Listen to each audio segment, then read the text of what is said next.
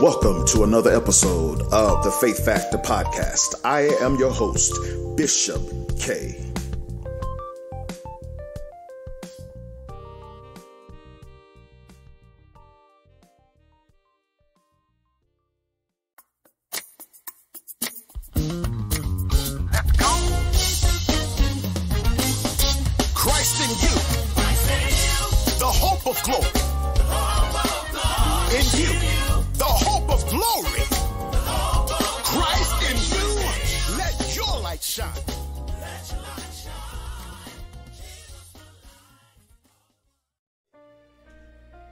to another episode of the Faith Factor Podcast.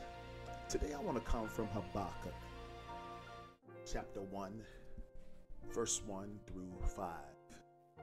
And it reads The oracle that Habakkuk the prophet saw. O Lord, how long shall I cry for help? And how long will you not hear? Or cry to you violence, and you will not save? Why do you make me see iniquity? And why do you idly look at wrong? Destruction and violence are before me. Strife and contention arise. So the law is paralyzed, and justice never goes forth. For the wicked surround the righteous, so justice goes forth perverted. Look among the nations and see, wonder and be astounded, for I am doing a work in your days that you would not believe if told. Today I want to come from a thought. God speaks through his activity. And I want to highlight verse 5, and I'll be reading fr- from the Message Bible. Look around at the godless nations. Look long and hard. Brace yourself for a shock. Something's about to take place, and you're going to be find it hard to believe. Beloved, Christians habitually seek God's voice through prayer, through His Word, or through His messengers. Yet sometimes we fail to hear God speak through His activity, even though He is working all around us. God encourages His people to watch for His activity so they will know how they should respond and adjust their lives. The disciples discovered much about God's power by witnessing Jesus calming a raging storm with a command Peace be still. Seeing Jesus dine with the notorious sinner Zacchaeus taught them a poignant message about God's love for sinners.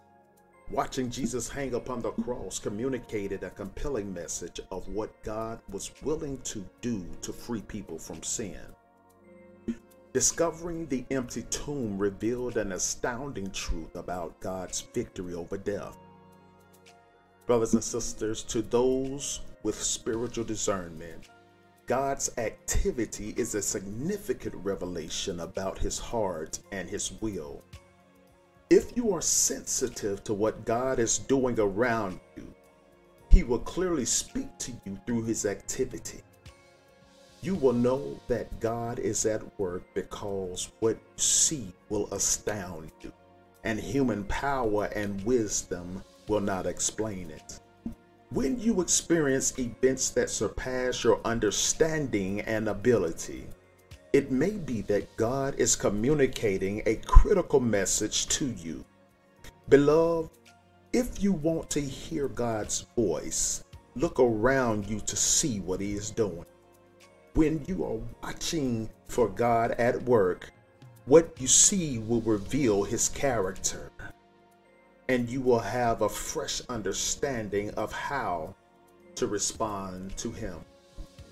Just let me give you a backdrop of this text. The nation's problems were caused by leaders who wouldn't obey the law. Therefore, the law is paralyzed and justice never prevails. The wicked hymn of the righteous and within the righteous, so that justice is perverted. The rich exploited the poor and escape punishment by bribing the officials. The law was either ignored or twisted, and nobody seemed to care. The courts were crooked, officials were interested only in money, and in ammunition was completely unheeded, according to Exodus 23, verses 6 through 8. Does that sound familiar? the Lord responded and answered the prophet's prayer. God answered his servant and assured him that he was at work among the nations, even though Habakkuk couldn't see it. God gave Habakkuk a revelation, not an explanation. Let me say that again. God gave Habakkuk a revelation, not an explanation. For what we always need in times of doubt is a view of God. The Lord doesn't owe us any explanations, but He does graciously reveal Himself and His work to those who seek Him. When God was doing this, it was so amazing, so incredible, and unheard of.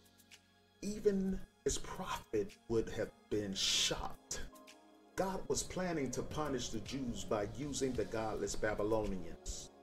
They were a ruthless and impetuous people, a feared and dreaded people who were a law unto themselves and afraid of nobody. Their only purpose was to promote themselves and conquer and enslave other peoples. The Lord then used a number of pictures from nature to describe the Babylonians and how they treated people. Their horses had a speed of leopards and the ferocity of wolves, and their troops swooped down on their prey like vultures. Their armies swept across the desert like the wind and gathered and deported prisoners the way a man digs sands and ships it to a foreign land. Could anything stop them? Certainly. God could stop them but he was the one who was enlisting their aid. Nothing human could hinder their process.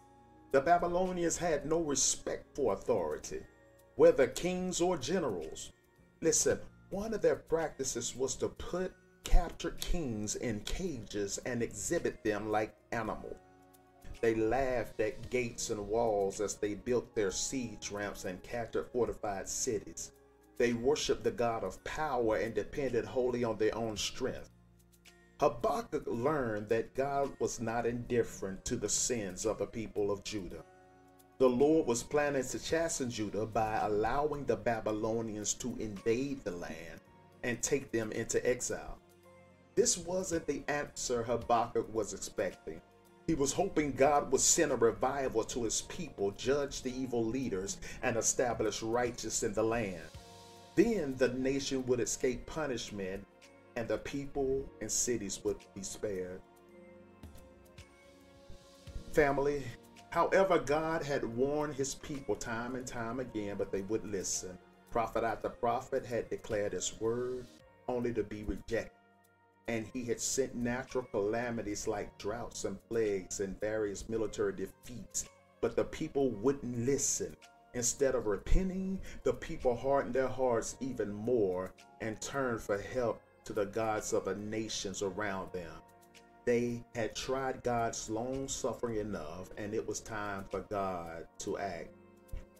Beloved, I just came by to let you know that God speaks through his activity.